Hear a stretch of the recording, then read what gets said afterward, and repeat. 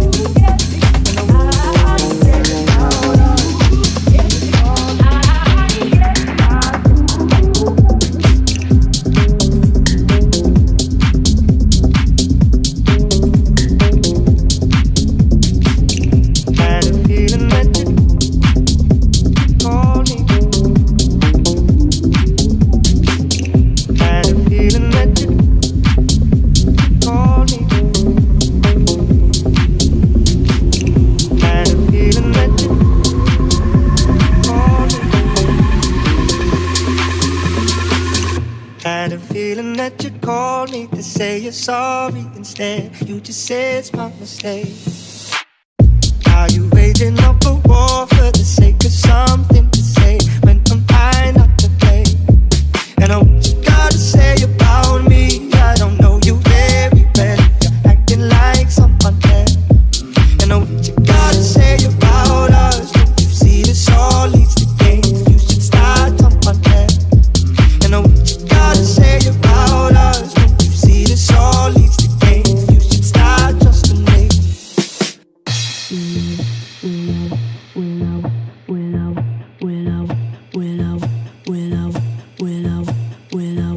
could say sorry, but I don't have much to say. You won't believe me anyway.